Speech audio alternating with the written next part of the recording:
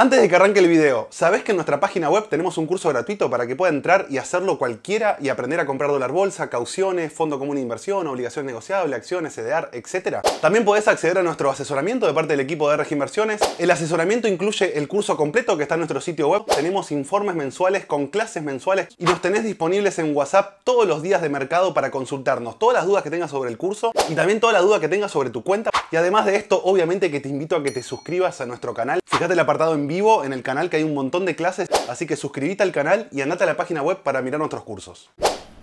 Bueno, nos estaban preguntando por Microsoft que, em, bueno, la gráfica, algunos que eh, tienen la empresa, eh, si nos fijamos Microsoft, fíjense lo que era en el año 2020, 188 dólares, todo lo que creció, una monstruosidad la verdad, fíjense que eh, había llegado a un máximo en 2021 de 350, eh, casi que duplicó su valor eh, durante la pandemia y bueno, finalmente ese máximo que había alcanzado lo vuelve a superar este año, pero fíjense cómo rebota de manera inmediata y vuelve a caer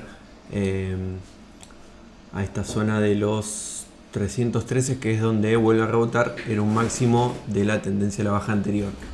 Por lo tanto es un valor importante.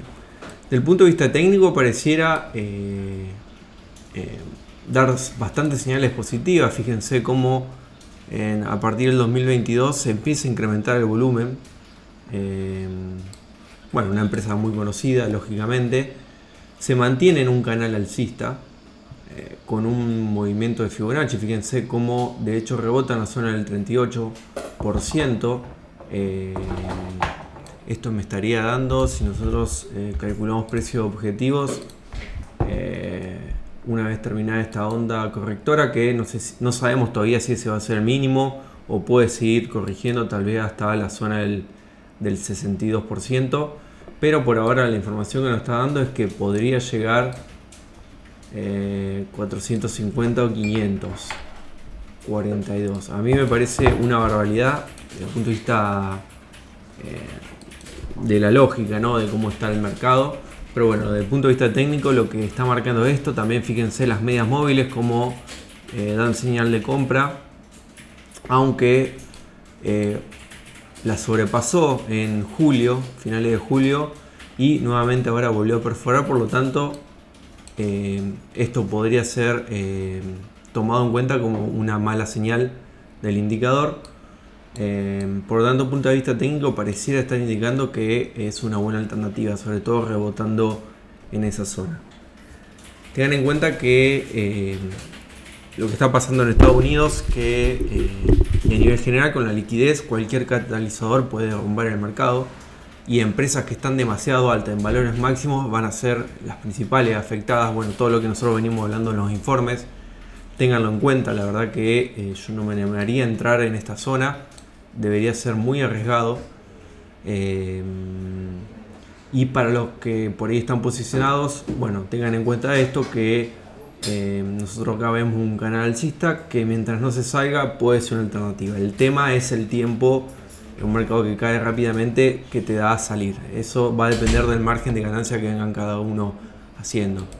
Acá tenemos algunos eh, indicadores, por ejemplo, de Estados Unidos, lo que venimos diciendo. Este es el, bueno, de manufactura, un valor por debajo de 50 el PMI eh, de, manufactura, sí, obviamente estaría indicando eh, una caída en actividad, ¿no? Y fíjense cómo desde octubre del año pasado se está ubicando en esa zona. Aunque por ahí el servicio viene resistiendo desde el principio de año, lógicamente los servicios son por ahí los que más les cuesta acomodar. Eh, y si miramos la empresa en sí y nos preguntamos si tiene justificativos para haber subido, bueno, la verdad es que desde 2018 más o menos los ingresos de, Microsoft crecen casi exponencialmente. Fíjense el, aumento que tiene por una empresa que ya tiene muchos años de trayectoria, no es normal, lógicamente eh, ha mejorado bastante sus ingresos la empresa. Eh, su margen operativo igual, lógicamente mantuvo una buena eficiencia, últimamente estuvo haciendo mucho recorte de personal eh, y las ganancias por acción lógicamente que siguen acompañando, aunque se empiezan a estancar a partir del 2021 y empiezan a estar un poco más plana.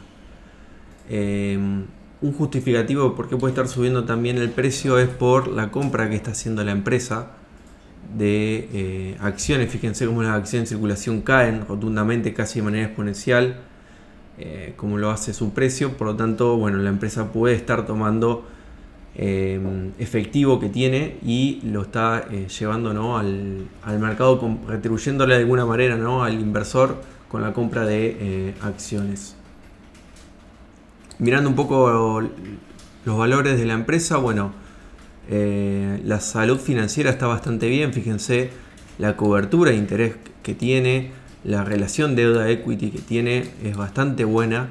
Eh, bueno, lo que son eh, la liquidez de corto plazo está bastante bien.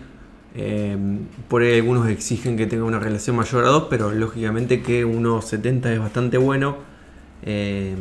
Y si vemos la solvencia, eh, también se está ubicando en la zona de 2, que acá no aparece, pero es bastante bueno. ¿Cuáles son los puntos eh, negativos? Bueno, estamos pagando un precio libro de 12 veces y un PER de 34, eh, con lo cual no solo es un poco alto, por ahí para las tecnológicas se permite un poco más que la zona del 25, pero no estaríamos trabajando con margen de seguridad, es decir, no estaríamos comprando algo eh, barato, sino que probablemente estemos pagando por ahí el precio que vale y eso hace que no tengamos un margen de seguridad ante cualquier eventualidad. Eh, y tengan en cuenta que paga muy pocos dividendos la empresa, un 0,81% de rendimiento es muy bajo. Eh, en un mercado donde una deuda del tesoro está pagando un 5%, no es lógico que un instrumento de renta variable, por más seguro que sea, esté pagando eh, tan bajo eh, o que tenga un rendimiento en dividendos tan bajo.